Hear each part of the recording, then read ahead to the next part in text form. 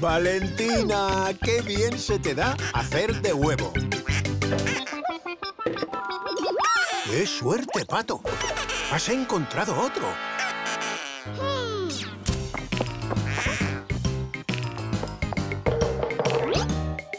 ¡Ahí! ¡Mira! Ese podría ser un buen escondite. ¿Habrá un huevo de Pascua ahí? Perdona, pajarito, no queríamos despertarte de la siesta.